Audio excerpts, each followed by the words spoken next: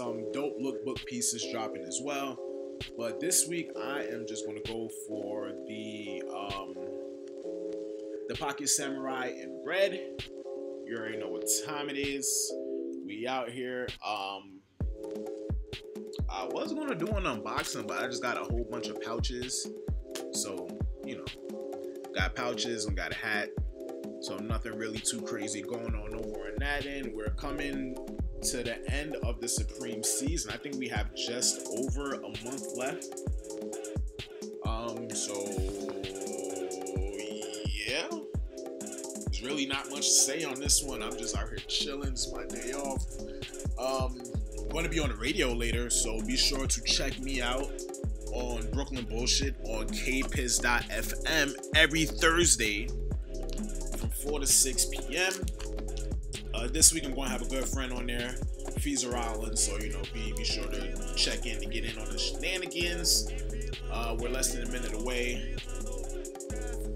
Oh, I forgot to mention, I, I actually hit on a on a TNF restock. A lot of people didn't like the North Face drop that happened last week, but I was quite pleased with it. It was pretty cool. I missed out on the tents, but like I said, I was lucky enough to get the uh, track jacket in green on the restock. I'm just waiting for my stuff to get here. It still hasn't shipped, which actually has me kind of worried. But you know, it's going to get here eventually. But when it does, I'll be sure to do an unboxing video on that. And um, for today, both me and my girlfriend, we're going to be going for the pocket knives. She's at home, I'm getting ready for it and I'm over here getting ready for it. You already see I'm doing my little refreshing thing. About five seconds away. Here we go. Got that. Cart. Where's my info? Turn it up. Uh oh. Oh snap. That's not good. Where's my wallet? Hold up. Where's my Whoa, my autofill info is not in here. And I literally have to get my card.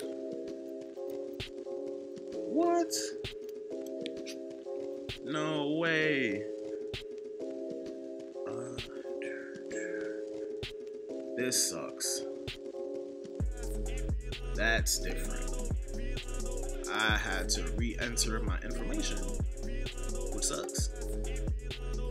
Let's see. Hopefully we got it. Ah, sold out. That's crazy. Ain't that something? So let's see if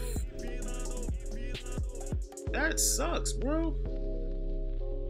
Ah, both knives are sold out. They did a restock on the bags.